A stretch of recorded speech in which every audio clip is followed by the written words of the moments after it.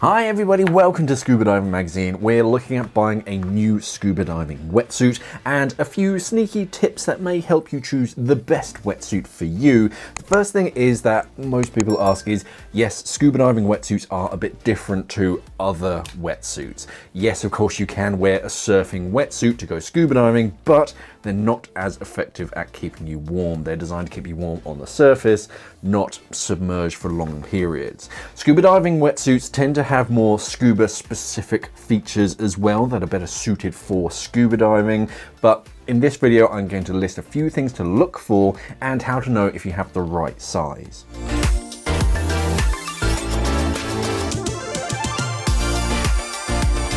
One cool thing that you'll find on most wetsuits, except for shorties, is a thermal rating. Somewhere on the inside, usually on the label, sometimes it's printed to the neoprene itself, but to get the coveted CE rating, wetsuits are tested and then graded on an ABCD scale if they're intended for the use of scuba diving. A is the best, and whilst I suppose unrated is the worst, um, but the rest of the grades determine how much insulation the suit provides. It's quite complicated, um, but basically A is good, B is not as good, C is a little bit not as good, and D is a little bit not as good even more. So now, just because you throw an A-rated wetsuit on doesn't necessarily mean it's going to keep you warm. A lot of factors such as fit and the seals around your cuffs and your ankles will help to boost that. And if a wetsuit doesn't fit, then there's almost no point in wearing one. A well-fitted C wetsuit will be keeping you will be better at keeping you warm than a loose fitting A but if you're stuck between two different 5mm suits and they both seem very similar to you, they both fit quite nicely, but one's rated D where the other one is rated B, the thermal rating can help you make that decision between those two suits.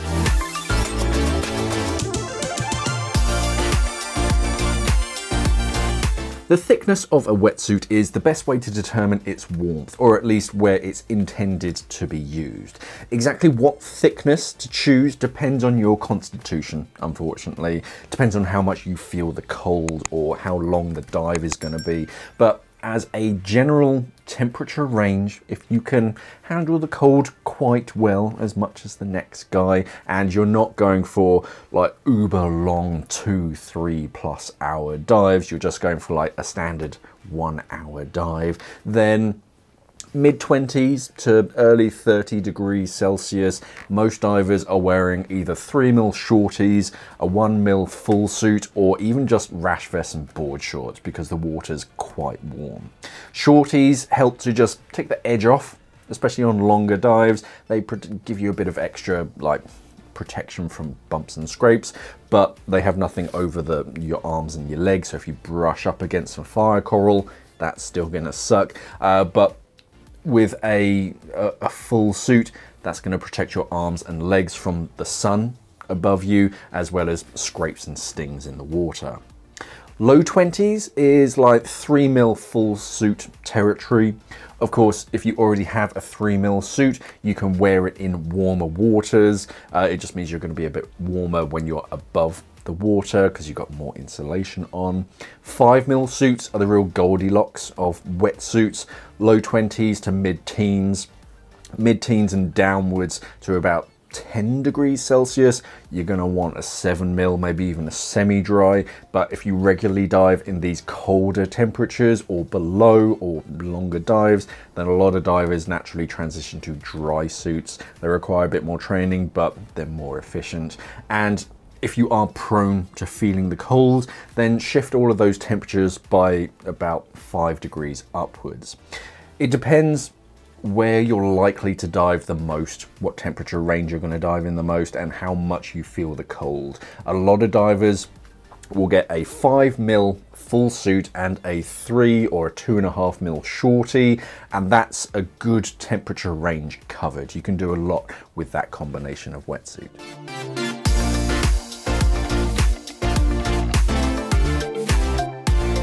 There are plenty of neoprene alternatives out there today. It's not just neoprene. Um, wonderful if you have a neoprene allergy, because a lot of people do, and some have some quite clever and useful features and attributes.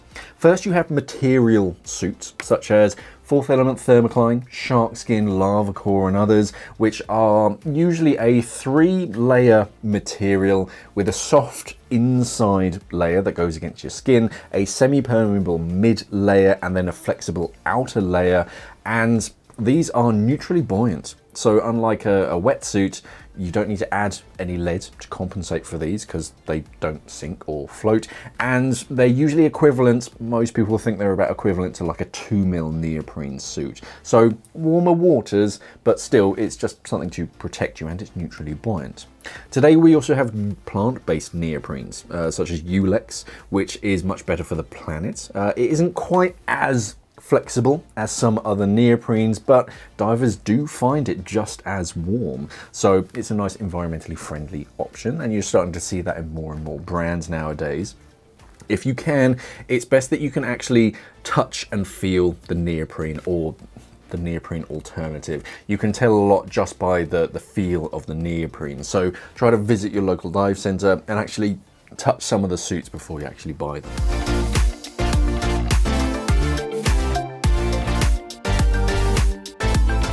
Internal lining of a wetsuit is one of the more important features that you don't always see from just the internet picture. Uh, if you look at freediving wetsuits, they often don't have any internal lining. It's just raw neoprene that's called open cell. Open cell really sticks and clings to your skin and it probably is the best at keeping you warm in the water because free divers and like spear fishermen they wear these because they're going to be in the water for long periods of time so open cell is very efficient at keeping you warm however it can be very, very hard to get in the suit without some kind of lubricant. Literally, I'm not joking. Um, and raw neoprene is quite fragile the internal and external lining is there to actually protect the neoprene in a lot of cases from tearing. If it's pulled, when you're trying to pull it on, you can often tell if someone's damaged their suit because there's this very distinct crescent uh, shape uh, like cut in that neoprene. A standard lining on the inside and out is very common on most wetsuits and yeah, it's really there to make it a lot easier to put on and to protect the neoprene from damage. On nicer, more expensive wetsuits though, you will start to see this lining change over the torso, over your chest and over your back to a thicker material that helps, it's more absorbent so it slows water movement and it in turn keeps you warmer. So if you take a 5mm wetsuit with a standard lining that you get on the inside and out, and then a 5mm wetsuit with a better internal lining. The second one should keep you warmer.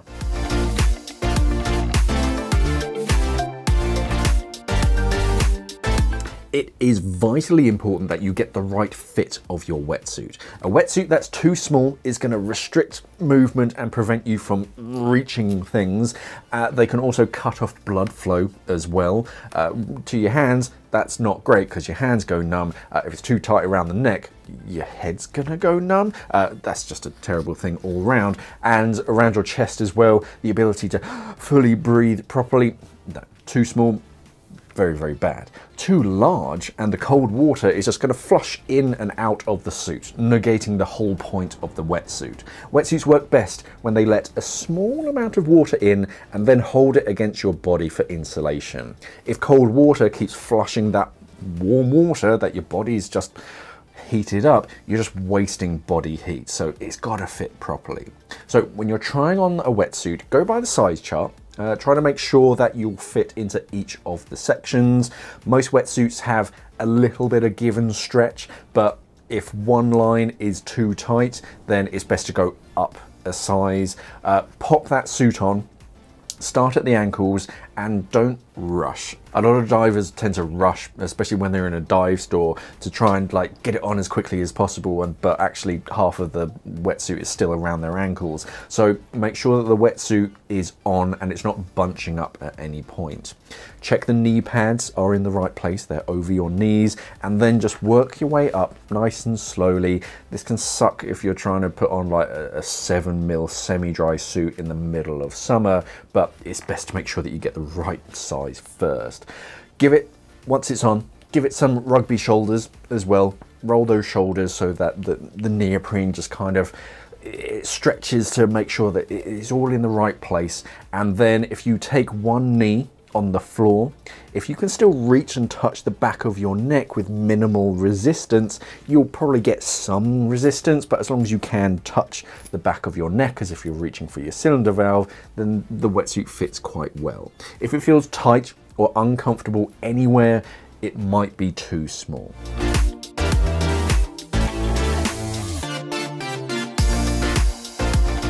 Pockets are an amazing feature to find on a wetsuit. They're still quite rare. You don't see them on a lot of wetsuits nowadays, but some wetsuits do have built-in, or at least the, bit the ability to fit thigh pockets that give you some extra storage in a very convenient place.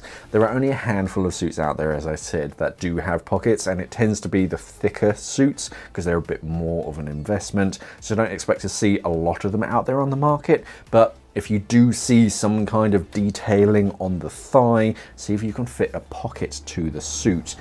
What a lot of divers do today on a suit that you can't fit a, uh, a, pocket to or doesn't come with them is invest in a pair of tech shorts or thigh pockets. They're basically a pair of neoprene or canvas shorts that you wear over the top of your wetsuit or just over your board shorts so that you do have some storage. You just need to be sure that they're nice and snug around their waist so that if you put something heavy in the pockets, they don't slip down to your ankles.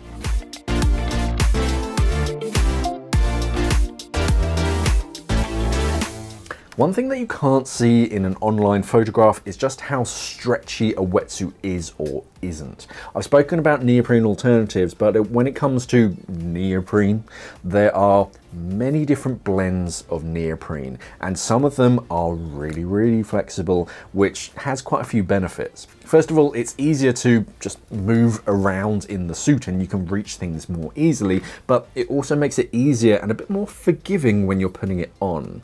It can be a little bit annoying when you're trying to pull on a stretchy suit and it just stretches. Uh, it doesn't move where you want it to. You've got to really coax it into position, but if the size chart seems that it might be a little bit small or you kind of overindulge at Christmas time, it might be worth trying it on at least. You also want as little stitching as possible. The stitching through the different neoprene panels is the least flexible part of a wetsuit besides the zipper itself. So look for large open panels of neoprene.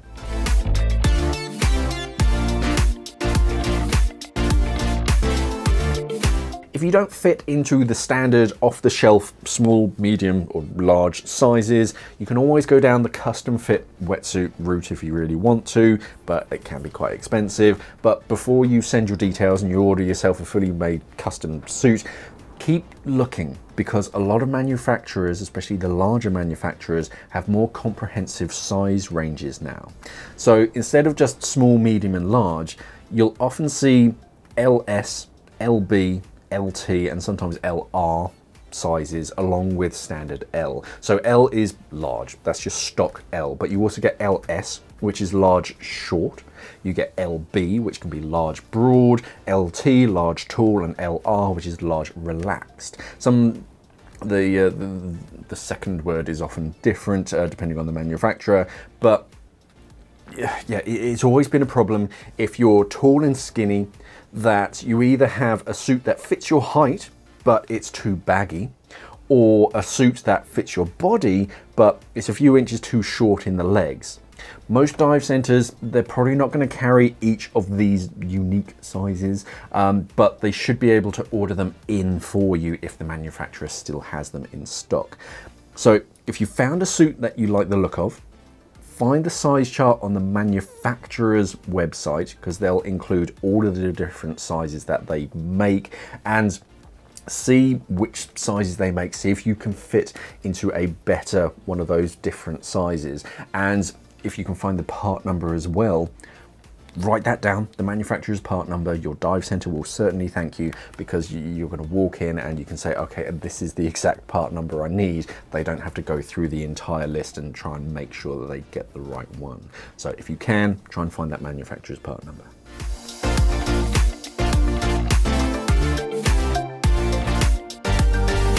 Next, you'll see suits that are called semi-dry wetsuits or just semi-dries. They'll be thicker wetsuits and they often have integrated hoods as well and a zipper across the chest sometimes. Um, semi-dries are for colder water diving where you don't want to wear a dry suit, but they're not as efficient as a dry suit.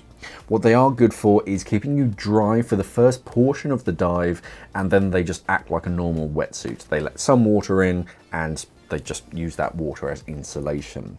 They tend to have better seals around the cuffs, around the zipper to slow any water movement in, more so than a traditional wetsuit. So that way they're they're like a top tier wetsuit. They're good for long dives in colder waters or in warm waters where you're diving a long, long time, um, especially if there's a risk of damaging the suit. So if you're in like a cramped shipwreck or uh, overhead environments where you've got sharp rock formations or something, and you're likely to damage the suit, Damaging a dry suit would be catastrophic because it's going to let water in, but if you rip your semi-dry, you're just a little bit more wet. It's still going to keep you warm.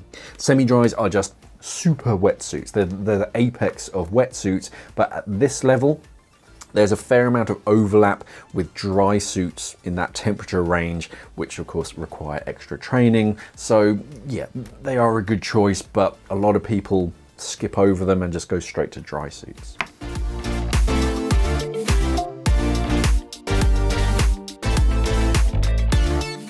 Scuba diving wetsuits have features specifically for scuba diving. Go figure. Uh, you should see reinforced sections over the shoulders as your BCD shoulder straps can rub and it's going to wear your wetsuit. So if you have a surfing wetsuit, it's going to wear out on the shoulders pretty quickly. Um, some also have wrist detailing that help keep your dive computer in place, which is a really nice feature, especially if you just invested in a really expensive dive computer and doing, doing that giant stride entry, you don't want it to slip off of your wrist. Layered cuffs as well are good for cold water diving if you're diving with gloves and boots. They let you layer them up to slow water ingress so that you can stay a bit warmer. For cold waters, you can also find systems which are basically wetsuits that come with a matching oversized shorty that you wear over the top for extra warmth over your core. So it'll be a 5 mil suit and then a 5 mil shorty that goes over the top. So you've got 5 mil on your extremities, but then 10 mil over your core. And Another one for cold water is liquid seams. So most fancier wetsuits have blind stitch in their stitching so the stitch doesn't go all the way through the neoprene so that water can't seep through to get inside. But glued stitching means that it is even harder for water to seep through. They basically put this uh, this liquid glue over the stitching and then it solidifies. And Another benefit is if the stitching is cut or worn in that one area, it's not going to unravel like open stitching would do. So yeah, spend some time looking around online. You're sure to find a fair few scuba diving wetsuits out there. Uh, for a head start, you can check out one of our affiliate dive stores. If you click up here in the corner, this link is going to take you to an online dive store near you. But have a good shop around and try to go for substance over style sure some webs uh, some wetsuits are going to have some real funky designs but it's it's what's in the inside that counts. Uh, you can't always just go for the design or the color of the wetsuit. It kind of has to be the right neoprene and especially the right fit If you have any questions, pop them down in the comments section below and remember to check out our website, scubadivermag.com, where we keep you up to date with all the latest scuba diving news and, of course, subscribe to the channel and consider becoming a channel member. We just uploaded an exclusive video with Ross Kemp that only channel members can view. Thank you for watching, everybody, and of course, safe diving.